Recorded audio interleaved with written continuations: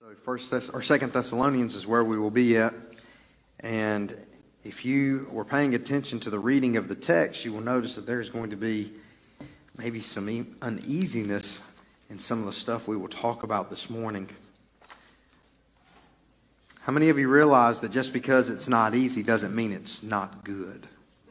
Get that? And so, um, and so we're going to be talking about something that honestly is not talked about very much in modern church, in corporate America. And, um, and I'm praying that for strength this morning um, because I'm, uh, I'm a little irritated at both sides on this. because in studying, not irritated, that's a bad word. That means that I'm going to be mad this morning. I'm not mad. Um, I'm concerned that a vast majority of churches do not practice biblical church discipline. Biblical church discipline.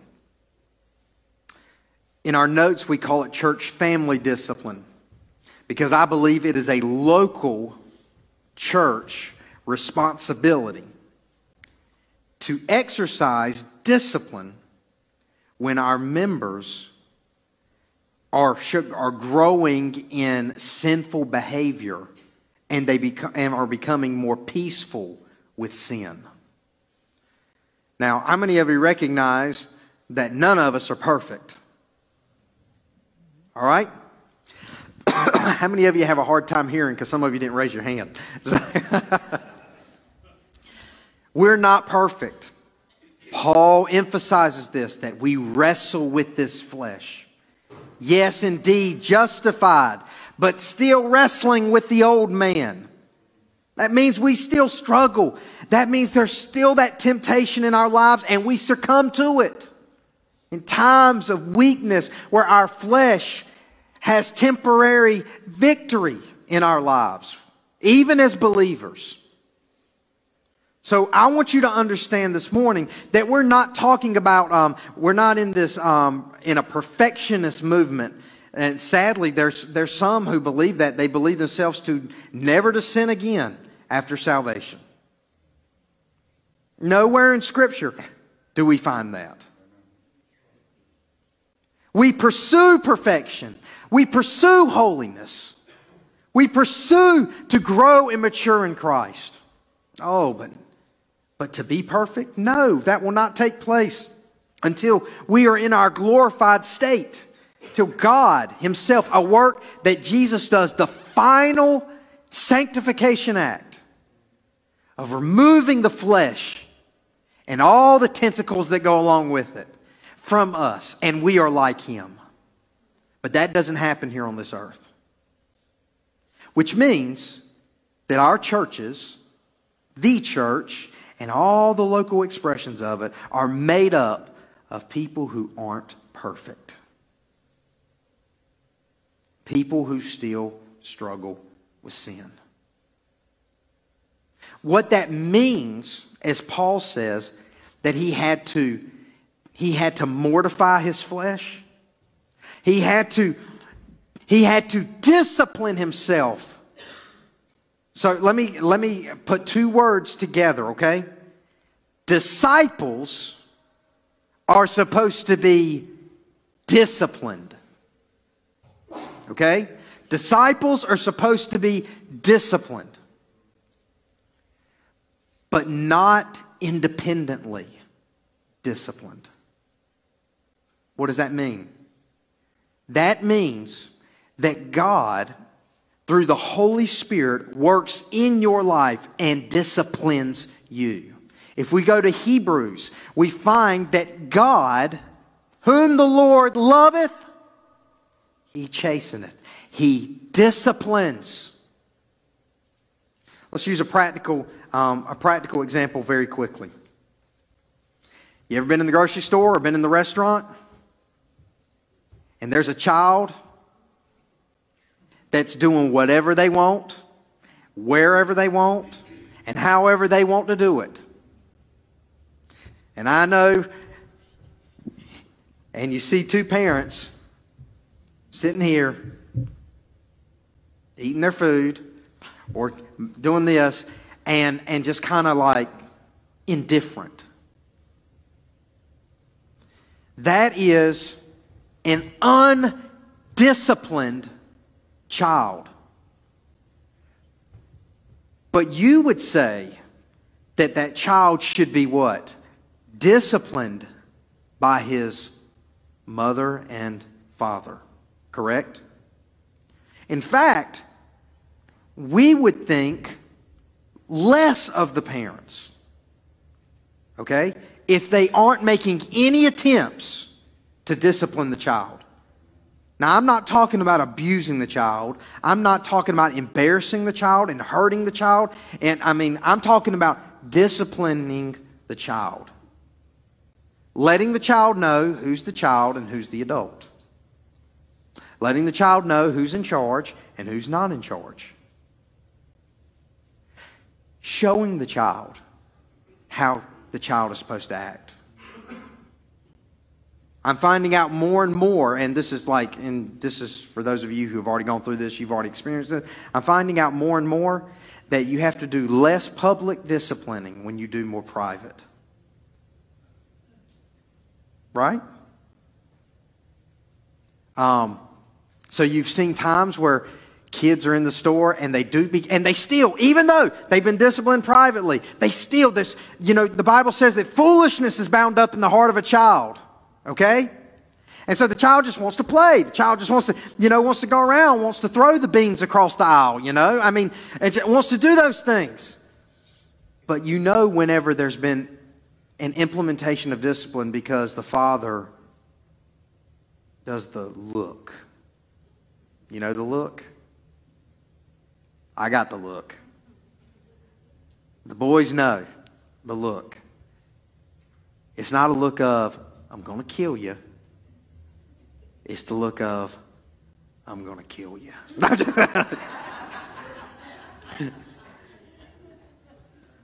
no, it's the look of, you know how you're supposed to be acting.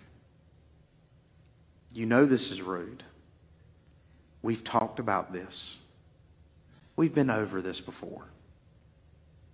It's time to settle up, settle down, and move on. But look, discipline is good when it's done right. So we have an extreme in church culture. We have discipline that is aggressive and can even be vengeful. It's mean. It's heartless. But then we have because the, the pendulum has to swing or because there's an overcompensation, we have a church culture of no discipline, no confrontation, no correction. That, that, that's, that's none of my business. Sorry, it is your business. This body, if, if there's infection in this hand, it's my arm's business.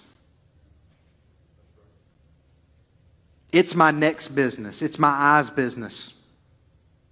Why? Because it's a part of the body. And too often times, there's sin, and it's mean, and it's vengeful in how the church goes about disciplining it. But honestly, most of the time, we kind of swing this way because naturally, we don't want confrontation. We're afraid of what people are going to think about us. You're a holy roller. Oh, there he is, holier than thou. Well, Paul here, in the most, as I'm reading, I thought it would be like very obscure where he places this in this text or in this letter. But Paul gives us a picture here of discipline because he says, I hear there are some among you who are not working. Sin. but we don't think about it that way. When have you heard, have you ever heard of someone being under the church discipline process because they're lazy? No, most of the time they're just the most of the time they're just the topic of conversation in the hallway.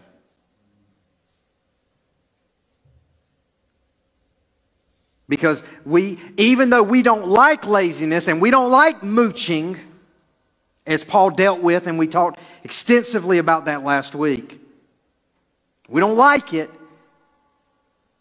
but we struggle with it being, quote unquote, a sin. And when someone gives themselves over to it in laziness and mooching, we, we very, very rarely will we look at it and say, that's a sin issue. There's a pattern in that professing believer's life where they are at peace with living in sin.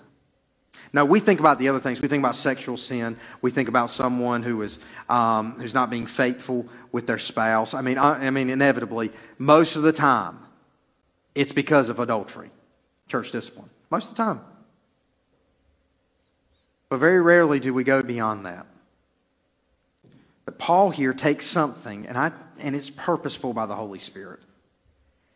He takes something that we would that we don't like, but we struggle with calling it sin, and he says you need to exercise church discipline on them. So let's look at, let me give you a couple of things very quickly. let me remind you last week as we navigated towards the middle part of this chapter last week that work is divinely appoint, is a divinely um, appointed responsibility that precedes the fall. We were commanded to work before sin entered the world. So working is not a curse of, of sin. Okay? Remember, we were gardeners, then the fall, now we're farmers. Okay? Therefore, if anyone should embrace good work ethic, it should be genuine believers. We should work hard for pleasure, for money, for things, for status, for power. No. We should work hard for the glory of God. Because it pleases God. Because it, we identify with God's plan for our lives through hard work. So, Paul, we, we addressed laziness last week and mooching. So now, or freeloading. Let's, let's get to our theme for today. Our theme is God's people are means of grace. God's people are means of grace. Now, let's break down that, okay, as we're moving into church family discipline today. And I don't want to lose you. And if you're new with our, if you're new to our church, this is, we desire to be a biblical, local, New Testament church. Not a cool church, okay? Not a traditional church. We want to be a biblically healthy church, which means that if the Bible teaches it, we want to follow it. And we don't skip over things. We go verse by verse through the scriptures. We, we introduce context, how they applied it in their day. We bring it to our context and we apply it in our day. And then we, we interpret the scriptures based on the scriptures. So, in light of that, let's break down what this statement means in our theme. God's people are means of grace. Number one, God's people. What do we mean by that? This is your first note. Um, the New Testament believers in whom God indwells. Okay? So when we say believe, or when we say God's people, all right, we are not talking about just a, a someone who identifies with a group of people.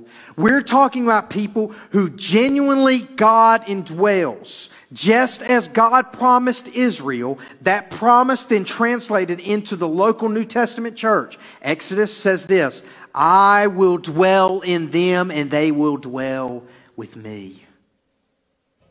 That is, that is what we mean by God's people. In our context, that is believers, the genuine believers in the gospel. Means of grace. Maybe if you, if you have a Catholic background and you've heard this statement before, you may, um, you may have heard this explained differently, but this is what we're meaning. This is what, what Baptists, this is what um, Protestant churches mean by means of grace. God gives grace in order to sustain and empower the Christian life. God gives grace in order to sustain and empower the Christian life.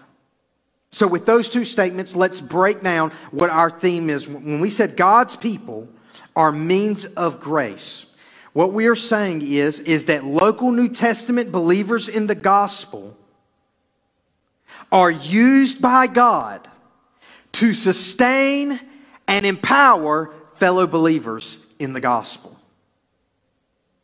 God uses you to help them sustain and be empowered in their Christian walk, and vice versa.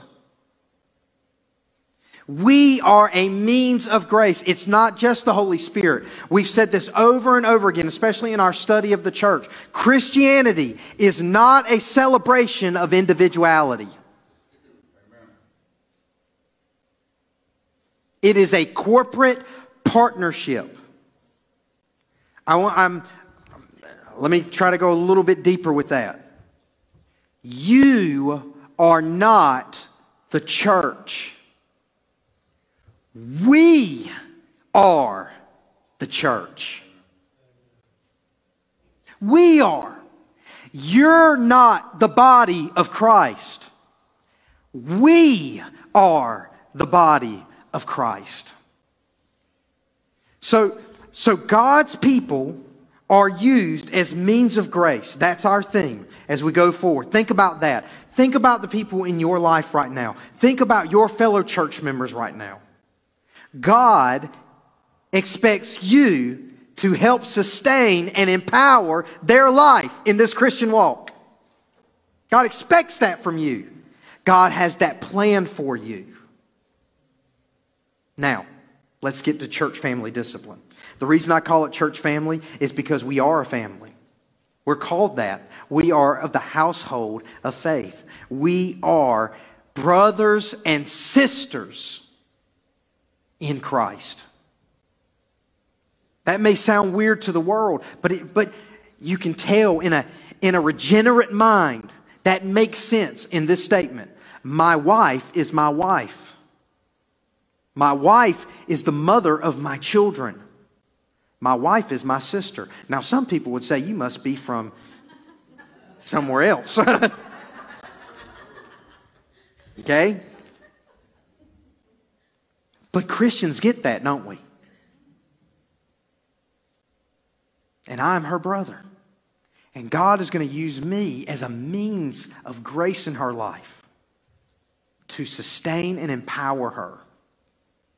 Can we stop there just for a moment, even just with our, our marriages?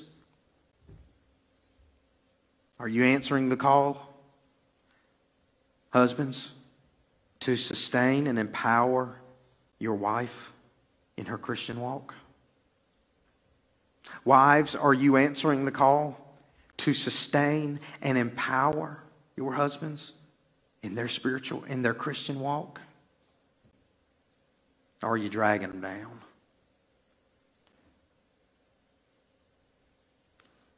Across aisles, church members and church members sustained and empowered. We are a family. And I'm not going to break out in song there, okay? But we are. We are a family. Church family discipline is this the process of correcting sinful behavior among members of a local church body for the purpose of protecting the church, restoring the sinner to a right walk with God, and renewing fellowship among the church members. That was long, so I'll read it one more time. Church family discipline is the process of correcting sinful behavior among members of a local church body for the purpose of protecting the church, restoring the sinner to walk right with God, and renewing fellowship among the church members. That is church family discipline in a nutshell. I gave you some text down here Matthew 18. We will read that in just a moment. That is from the very words of Jesus. 1 Corinthians chapter 5, an entire chapter in which Paul is having to address the church of Corinth because, get this, a man, okay, a man is sleeping with his dad's wife. Okay? So it's either his mom or stepmom. It was so, I mean, that even the pagans in Corinth said that was a no no. Paul references that. He said this is something that is even beyond the works of Gentiles. So this is heinous. And he says this about the church. And you sit back with arrogance. The church was sitting back, and a man that was in their assembly, local church, okay? That's one thing you need to find out. Everything's in local church context in the New Testament from Matthew 16 on. Local New Church, I mean, local New Testament church context. Ephesus, local New Testament church. Thessalonica, local New Testament church. Philippi, local New Testament church. Colossae, local New Testament church. Okay? Galatia, local New Testament church. Corinth, local New Testament church. Okay? So these are things that are happening inside of a church. So basically, if Paul were to ever write a letter to Immanuel, what context would it be in? Local New Testament church. Okay? Because we are a pattern of a local New Testament church. Okay, I think y'all got that. Okay? So they're just sitting back and he walks them through church discipline. How are you're supposed to handle that. Y'all are thinking, yeah, dude sleeping with his stepmom or his mom. I mean, good gracious. And still doing it. Didn't not one time, not not like, okay, the the, the present tense of the Greek there is that he has his father's wife. He's continuing on. I don't want to go much further than that, okay? Grosses me out. All right? 2 Corinthians 5, Galatians 6, James 5, 2 John 1, Romans 16, those are only a few I gave you. I didn't give you 1 Timothy chapter 5 or Titus chapter 3. I mean, I could have kept going on and on, but I wanted to give you a few here where we are compelled by the example of the uh, local New Testament church to exercise church family discipline. But what's this process? We haven't even gotten to our text today. But let me, let me um, read Matthew 18. I feel like we need to go right to the horse's mouth. Okay? Remember, Matthew 16 is the establishment of the church. So now we're looking inside a context of the church, and we see the process. Moreover, in verse 15 of Matthew 18, says, Moreover, if thy brother shall trespass against thee, go and tell him his fault between thee and him alone. If he shall hear thee, thou hast gained thy brother. Okay? Stop right there. The process. Step one one on one. Someone struggling with sin in the church? You don't go to your girlfriends. You don't go to the, to the men's group. One on one. That's what you do. You sit down and you talk to them. We're going to talk about the heart of it in a minute, but that's step one. Verse 16. But if he will not hear thee, then, okay, all right, I made a concerted effort. It doesn't say, give up on them, they're done, don't talk to them. It says, then, step two, take with thee one or two more. So at your discretion, one or two more, depending on the situation, sometimes it's better to take one. Why? Because if you take two, then it's kind of like a three on one thing and they feel like they're being ganged up on. And maybe it, it, it, intensifies the situation. So sometimes one is better, but sometimes there's two people that maybe they really have had a good relationship with, and sometimes it eases the situation. So there's discretion there that Jesus gives one or two more. Okay? Um, that in that in the mouth of two or three witnesses, okay, that's an Old Testament Jewish custom, okay, two or three witnesses to acknowledge that sin is being committed, all right? Um, every word shall be established, shall be put on record, all right? If you ever have to confront someone or have to talk to someone about sin and it gets to step two, this is when Jesus says some notes need to be taken. Something needs to be written down. There needs to be a record kept. First one, he didn't say that. Go to them and talk to them, and so that they will hear you. And then it doesn't go in. It's just brothers and sisters. It's just it's just talking that way. But he says then that it may be established, that it may be on record. And if he neglect to hear thee, tell it unto the pastor, tell it to the elders, tell it to the deacons, tell it to the Women's auxiliary, tell it to. No. Tell it to the church. But if he neglect to hear the church, let him be unto thee as a heathen, a Gentile, that was recognized as not believers in God. In our context, unregenerate men, people who have not been redeemed or a publican, okay? They, they didn't like publicans, okay? That's what you do. You let them be as unto that. Verily I say unto you, whatsoever ye shall bind on earth shall be bound in heaven. Oh, that's been greatly taken out of context. We don't have time to go too much in that. And whatsoever ye shall loose on earth shall be loosed in heaven. Again I say unto you that if two of you shall agree on earth as touching anything that they shall ask, it shall be done for them by, of my Father which is in heaven. Word of Faith movement takes and runs with that. That does not mean you get whatever you want if two of you want it, okay? That's not what that means. Verse 20. This is greatly misused. Quoted in prayers For where two or three are gathered in my name, there am I in the midst of them.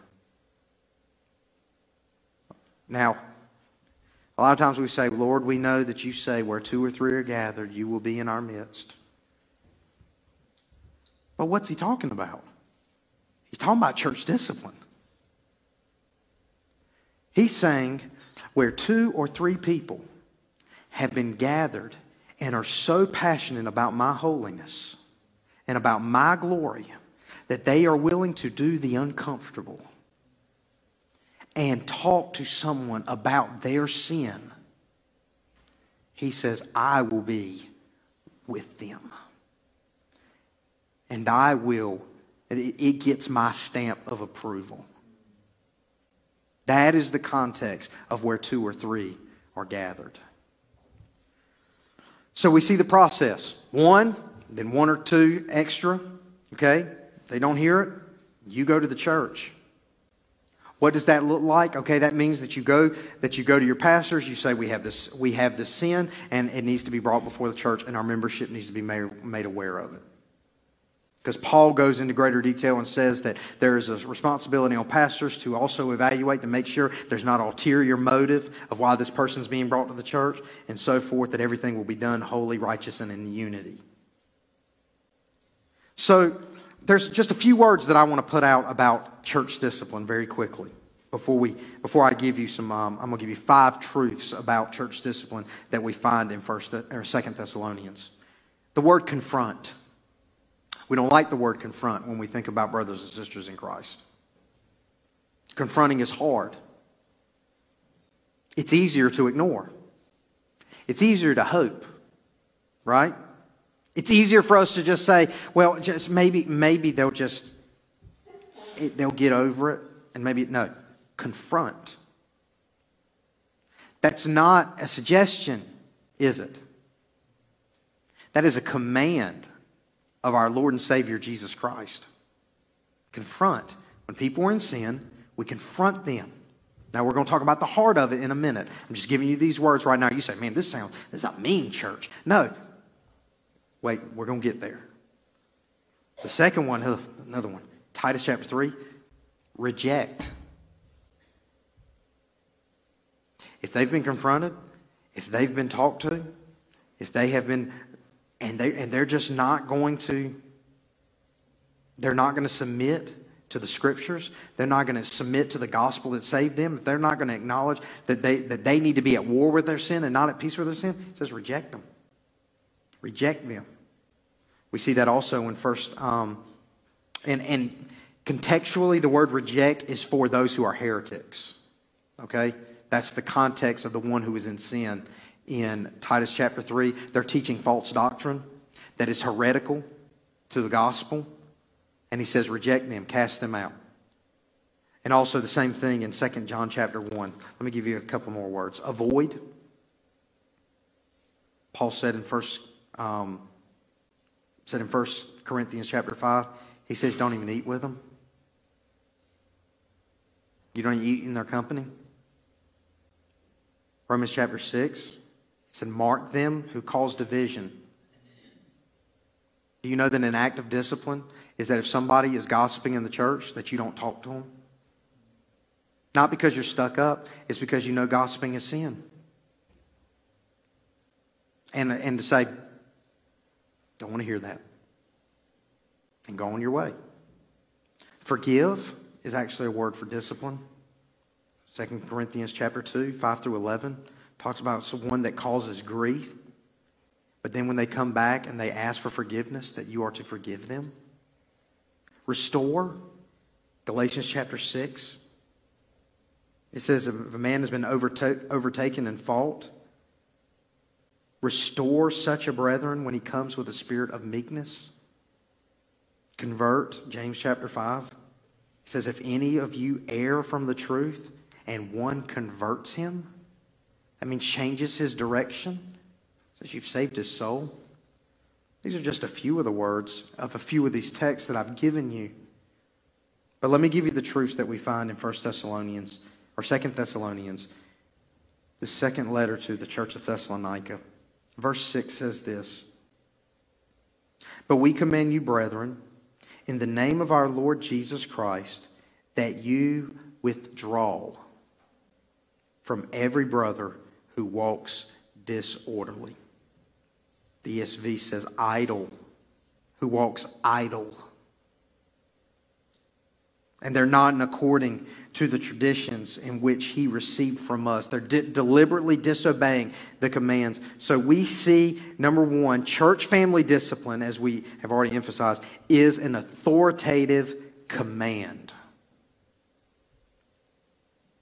What is the ramifications of us saying that? Of us acknowledging that in the scriptures with the text that I've shared, with the examples given, and then even by the words of our Savior Jesus Christ, and now by the Apostle Paul here in Second Thessalonians. What I'm telling you is if our church family sees sinful behavior by one of our members, and we turn a blind eye to it, we are living in direct rebellion against Christ.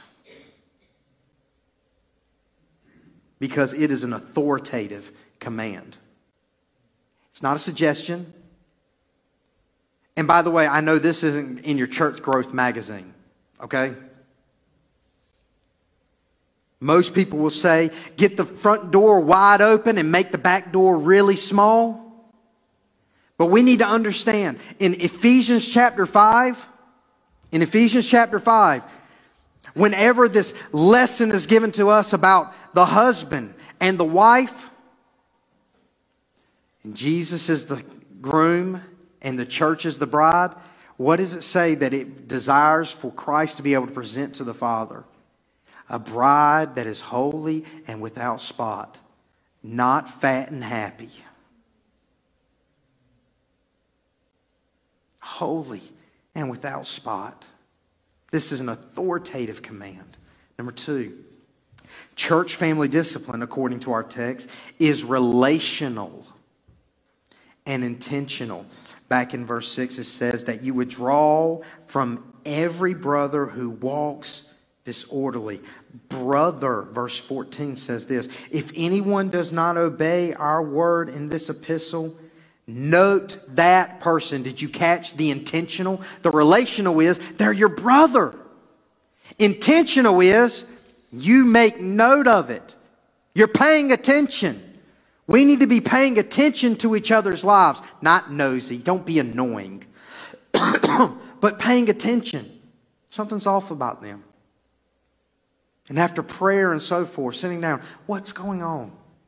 And they talk to you, and they maybe they say they say, "Well, this is going on, and that's why I haven't been as engaged with the church." And you sit there and don't give them your opinion and say, "Well, old, old Pappy used to say." No, you give them the Bible, and you and you lovingly plead with them to return to righteous behavior.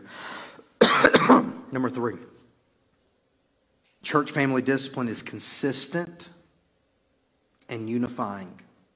I emphasize consistent because if it's not consistent, it will not be unifying. Look in verse 6 once again. That you withdraw from every brother. That means that if the member gives $5 a week, or if the member gives $5,000 a week, sin is sin. There's no preference. We're not going to handle this situation and say we're going to turn a blind eye to this just because they offer more, quote unquote, to, with a worldly vision to this body. No. He said, You withdraw from every brother that walks disorderly. Consistently, and then in verse 7 it says this For you yourselves know how you ought to follow us, for we were not disorderly among you. For you, everyone, everyone is to be under the same umbrella of discipline. No one is not saying, oh, well, this is this. No. Sinful behavior requires the same for each individual. Number four, church family discipline. And this is where we get to the heart of the matter, okay? It sounds very harsh coming right now. You're thinking, Pastor Blake's a meanie. Pastor Blake likes confrontation. Pastor Blake just wants to crack some skulls, okay? No. Church family discipline is for restoration. Verse 15.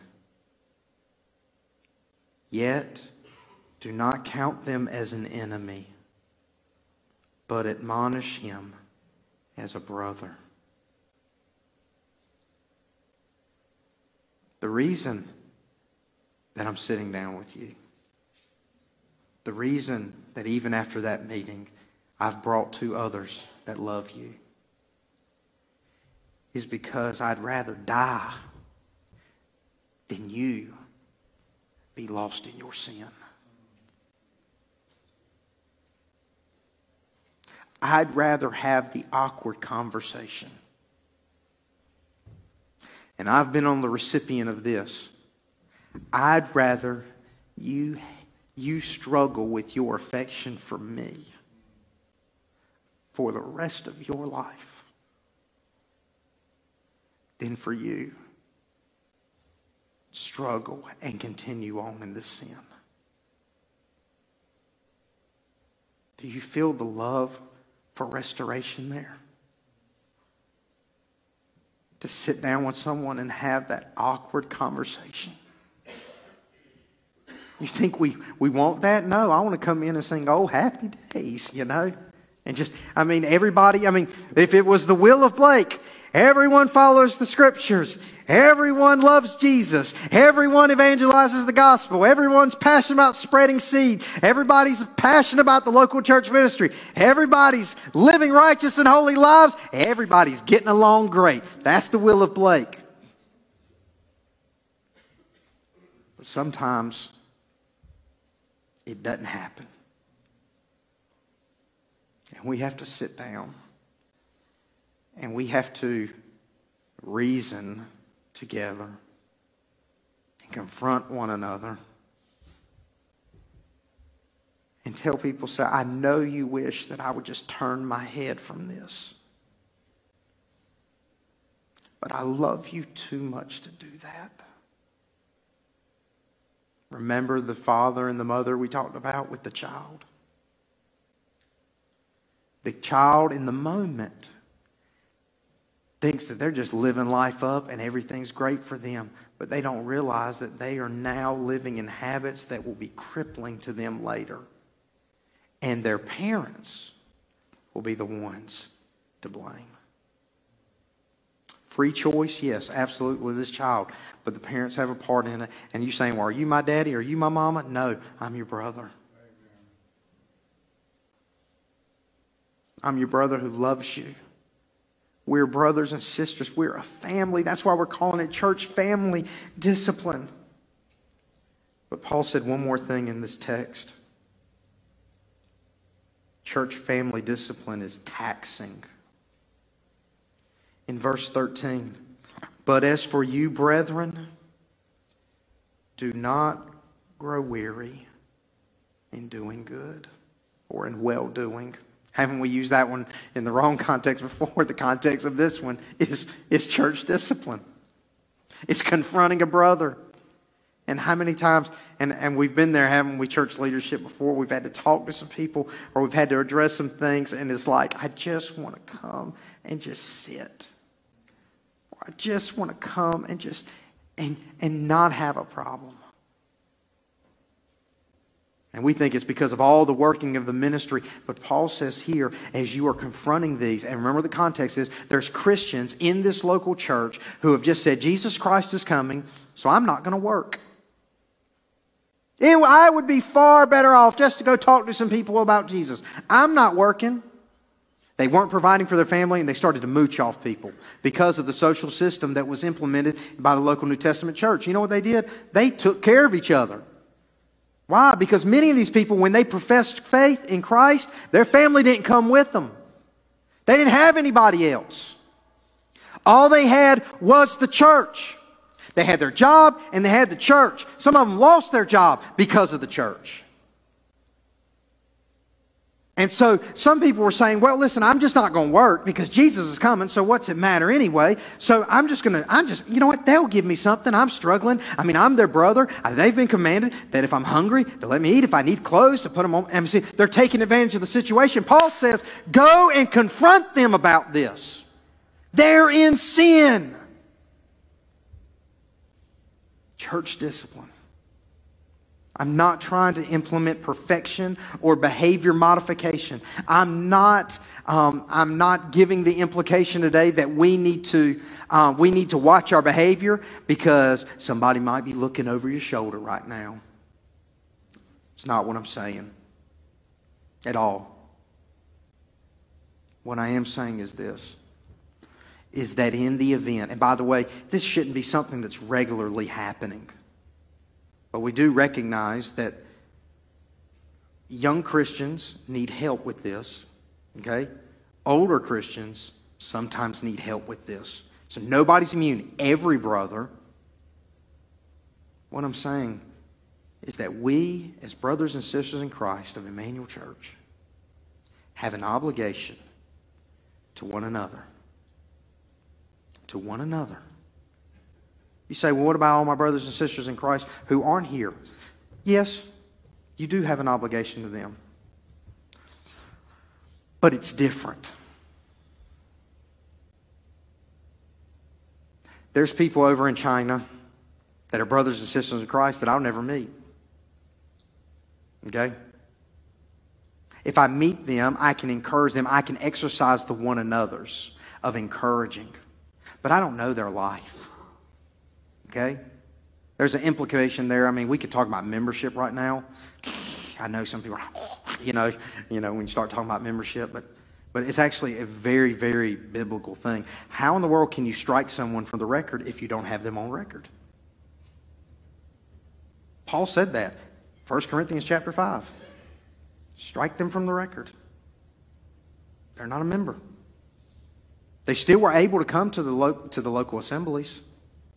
And by the way, if someone's in sin and they get to the bottom part, by no stretch of, I'm, I'm going, we're going to have to do a, a study on the details of practical church discipline. Today it's about the heart. We should be passionate about restoring our brethren to a life of holiness and passion for Jesus. And that's what Paul here is I mean, he's, he's wrapping up this letter. I have a few verses left. And he says here, even in the things that we kind of see as small, like laziness, we should be, we should be vigilant for each other because we don't want seeds of sin to be planted.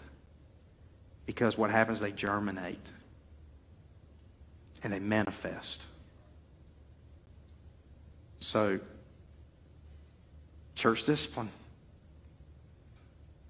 What's our thing? God's people are a means of grace.